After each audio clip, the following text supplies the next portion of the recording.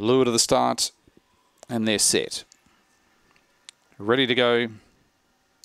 Away and racing, backstage pass, stood there at the start and going straight to the front was Fangit Flatty. Fangit Flatty goes past the judge the first time in 5.64 out by three lengths on backstage pass, back on the inside in second as they travel along the back straight. The second split 14.18 and on the arm Fangit Flatty doing it nicely out by four lengths on backstage pass goes off the back in 18.86. So as they swing, Fangit Flatty doing it nicely, hugging the inside, swings for home, four lengths in front of backstage pass and Fangit Flatty leads throughout, wins by two and a half in 30 and 57 over backstage pass.